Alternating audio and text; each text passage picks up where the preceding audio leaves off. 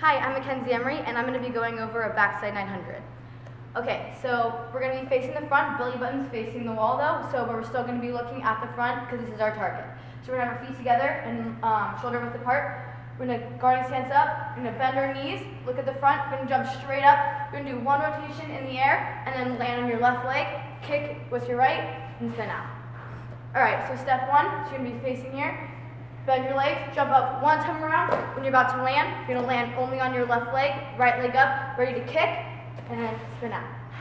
All right, and this is a backside 100.